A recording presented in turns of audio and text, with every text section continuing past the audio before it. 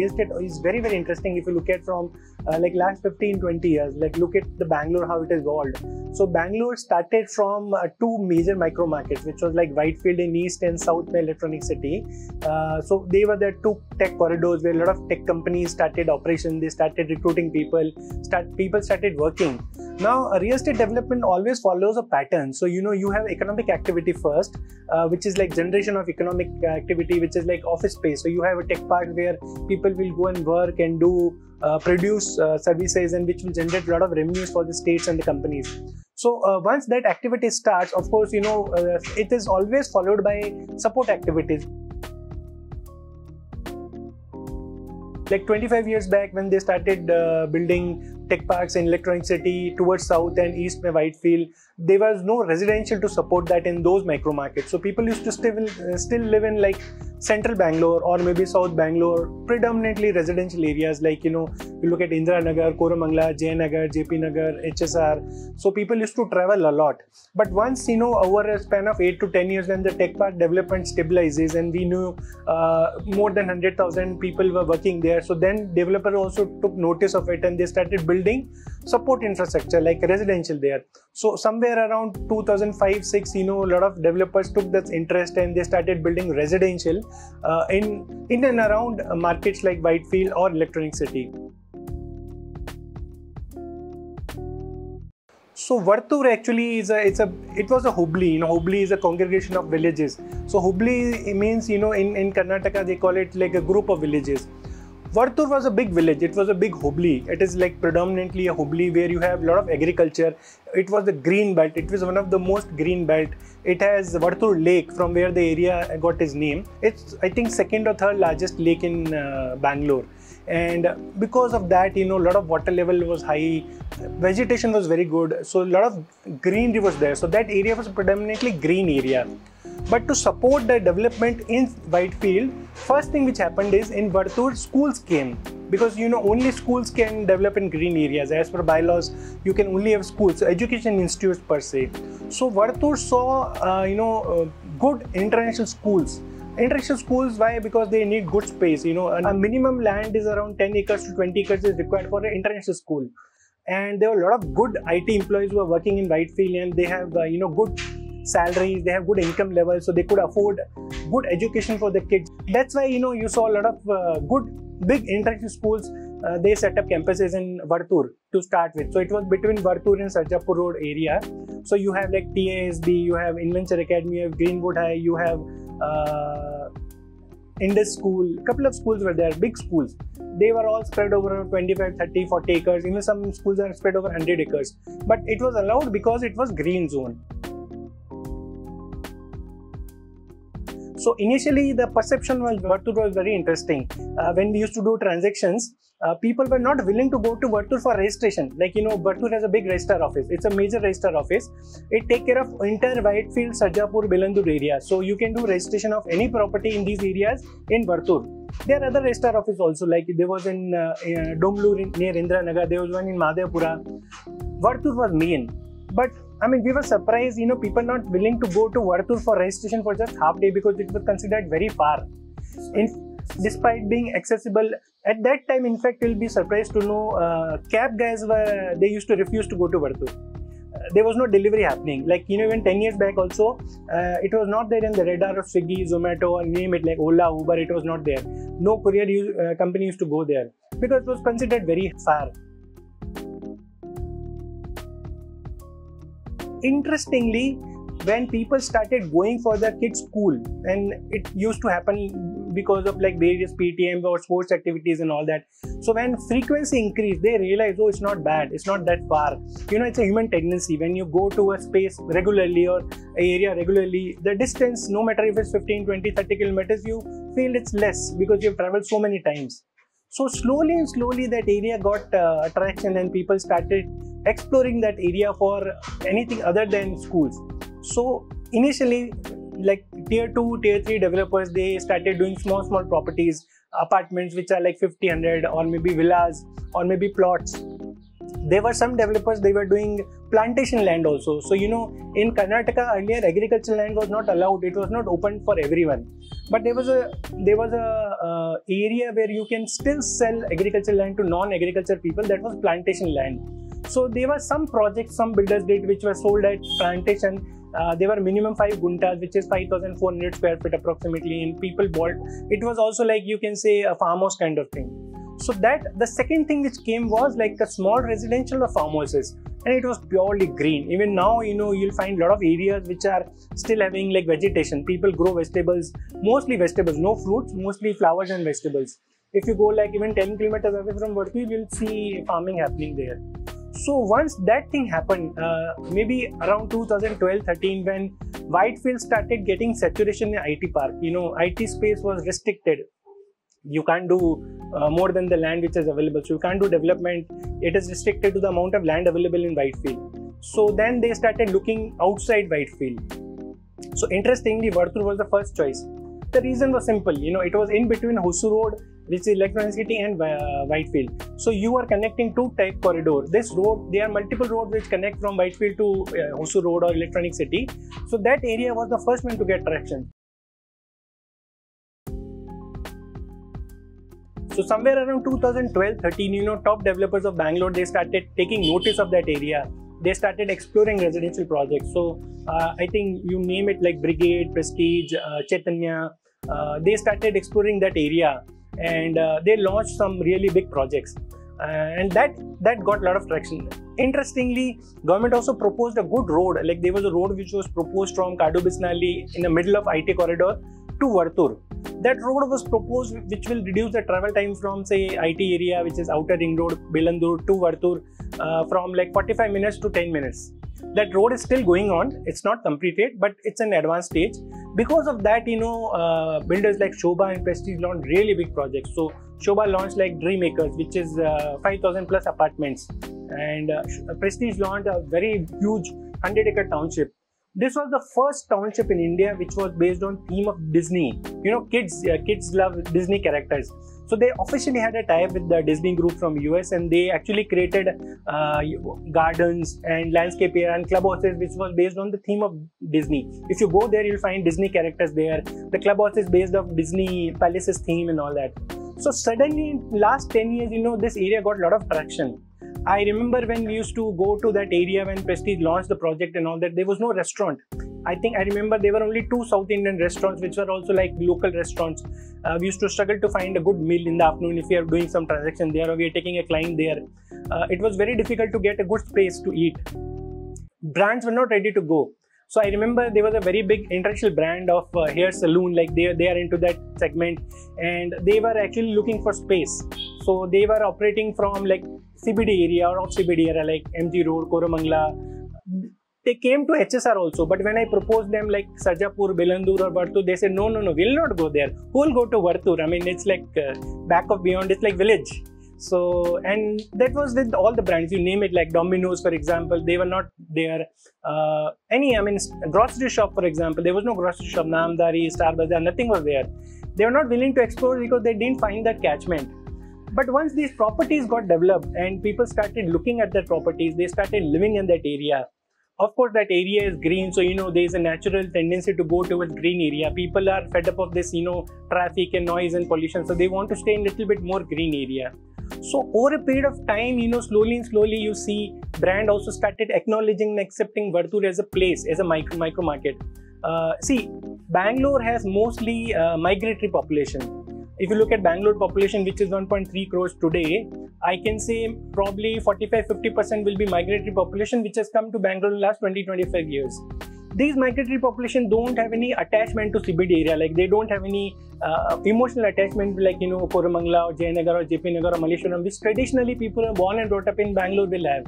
So these guys are open to explore. They want to stay closer to the IT park. So most of these people bought properties in this area and they were willing to explore because for them there is no attachment to any particular area. They just wanted to be closer to either school of their kids or maybe a office space. When they started moving in, of course, the next thing which was there in your you need support infrastructure in terms of retail. You need groceries to buy, you need uh, healthcare for your parents or for families. So slowly and slowly, when the population started moving there, a lot of other brands and companies started noticing Varthur area. Uh, I was surprised to see the same international brand which refused to go to even HSR uh, Road. They have set up an office. I just noticed two months back. I don't know when they opened. They have a full-fledged uh, center in Varthur. So it's very interesting to see. You go to Varthur, you have Star Bazaar, like Tata's retail uh, chain, big setup they have. You have Domino's, you have uh, Tea Points, Chai Point, you have Gabbar Chai, you have name the brand, Bata showroom, brands, Louis Philippe. They have uh, automobile. I think. Um, even uh, all the automobile car guys and automobile two-wheeler guys they have a showroom there so in last 7 8 years only suddenly most of the brands have accepted so if you look at the evolution of Varthur as a micro market, it's very interesting to see how things have changed drastically. Now it's like a proper micro market. You people are planning IT park. In fact, top developers are building IT parks there. So there'll be there are two IT parks which are planned. There's a retail mall which is planned in that area. If you look at uh, the recent launches in that area, properties are selling like hotcakes. I remember when the first property was launched, they used to sell you know 15 20 units a month. Now it's 100 150 units a month they are selling. So you know, that's the way have evolved. So right now, I think uh, if you count the organized apartments in that area, probably it will be in the range of 12 to 15,000 apartments roughly, which are visible, which are in advanced stages of delivery or already delivered. I am sure, I think in next three to five years, there will be at least 20, 25,000 residential units which will be planned in that area. Uh, in terms of IT space, uh, the closest is uh, Sarjapur Road near near Decathlon. So there are two big tech parks. One is by Wipro SEZ and one is by RJ Tech Park. They are put together around four four and a half million square feet, and uh, I know there are a couple of more tech parks proposed in that micro market. So if you look at tech park perspective, I think I can easily say around uh, 15 to 20,000 employment will be generated in that micro market. So if you look at that kind of number, of course, you know people who are willing to work there uh, will need house. Whether they buy or someone will buy and rent it to them. The demand is demand. If you look at Bangalore, you know uh, today the population is 1.3 crores. As per various government estimates, it will touch 2 crores in next seven eight years. Which means you know every year at least uh, 12 to 14 lakh people will be added in next five to six years. So they'll need housing. I'm not saying they'll buy, but someone will buy and give it to them on rent. Someone will buy in two years, three years. So people normally move to Bangalore and they take maybe a year or two years to set, stabilize. I have so many clients who move to Bangalore from Delhi or Bombay or Calcutta or uh, Kerala and they stayed on rent for one year, one and a half year, and immediately they bought it. Because a they love the city. Bangalore is like I am not seen any client who has said anything about Bangalore negatively. Anyone who comes from any part of India will love city and say they want to stay there unless they have some other factors which are you know triggering them to go back to their uh, places or native or abroad. People who come to Bangalore will stay there. The weather is very good. Uh, of course there are issues in infrastructure but then the employment opportunities are very good so I see Varthur as one of the major hub where you know you'll see a lot of action in terms of IT development, which is economic activity, and all residential development. it's a very good spot for investment. And it is still not like it just started. Like it's i can say it's a nascent stage. It, it has started cracking that thing in last five six years. I i'm confident a lot of development will happen especially uh, i know pr is like it's a it's a pending for long but now it's in advanced stage so once the prr will done it is cutting prr uh, varthur in two parts so it's passing through varthur prr will provide connectivity of varthur to entire bangalore so once that is done, then you know it will be a good market to have. So if you look at IT development, which is the key economic activity in Bangalore, uh, there are various level of IT companies. So you know you like you have most of the big IT companies have offices in all micro markets. If you look at like say IBM or Accenture or Infosys, they will have multiple offices across micro market but in, in terms of people who are working in those offices the micro market where you have more of senior management people like middle and upper middle and senior management people they are actually working in either whitefield or Bellandur area outer ring road like marathalli sarjapur road you have a lot of it development in other part of bangalore also but they are relatively they are maybe uh, middle or junior ma- middle management people are working. So when you have people who have high income levels are living there and they have high investable income like they have money to invest in uh, real estate or across uh, properties every year either they will buy for themselves or they'll do investment which they want a rental income. So they would like to prefer some areas which are closer to where they can manage. So that's why i think you know varthur has an excellent connectivity with On the one hand, Whitefield, you have uh, Outer Ring Road, Bellandur Market on one side, and then you have Hosur Road, Electronic City Market on hand. So it's in the middle of three big micro markets and it is a green area and you have a lot of greenery and water levels are good. So i feel you know that area has good potential. I will i can say now because next stage is uh, once it park was there then you have residential now support infrastructure started. What happens is when the population increases new and new kind of people comes for them the need increases so i see uh, there will be development of more and more healthcare facilities in that area right now it is less people travel to Whitefield or Bellandur for healthcare. Like big hospitals are not there.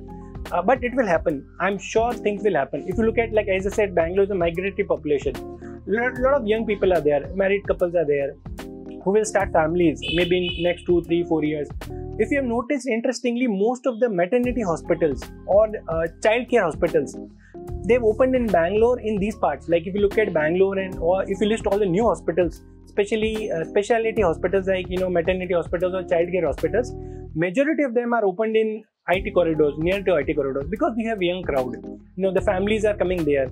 They will have families. They will need care, healthcare, and all that. So I'm sure in Varthur also slowly and slowly more and more healthcare facilities will come. So uh, I think pricing wise, if you look at uh, when the property started selling in Varthur, the selling price was in the range of 5,200 to 5,400 rupees square feet. Recently, we have done a couple of transactions, resale transactions, new transactions, which are going in the range of 9 to 10,000 rupees square feet. So, you know, pricing is definitely increased and it has seen the upside. I think it is matching the pricing level of Bellandur and Whitefield, uh, mostly because the units are good. It's a new kind of uh, properties. They're well designed homes and it is becoming a full-fledged self-sustained micro markets. So if you look at micro markets also earlier you know you used to have like one it park area and then there's a residential area and there's a retail area and education area. But now in last seven eight years we have bangalore has seen the concept of integrated development or integrated township. There are a couple of properties which have like everything within that project. So if you name it like you there's a tech park there's an office space there's a residential there's a school there's a hospital there's a shopping mall. There are a couple of projects in bangalore which have everything in the same compound there are many properties which may not have everything in same compound but they have nearby. So within a travel time of 5 to 10 kilometers uh, 5 to 10 minutes or a distance of 3 to 4 kilometers you'll find these facilities. See if you look at uh, real estate investments basically you need to have a couple of things in place. First of all the area should have good infrastructure like good connectivity. Then it should have good properties like good developers to come with good level of properties good kind of properties then you should have easy access with things like office space things like education healthcare. These are the primary things.